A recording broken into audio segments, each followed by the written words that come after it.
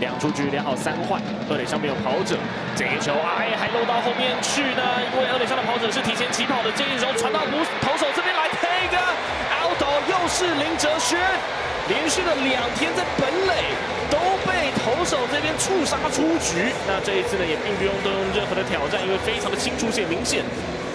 最终呢，富邦悍将在九局上半是没有攻下分数的。稍后来看中信兄弟在九下的反攻机会。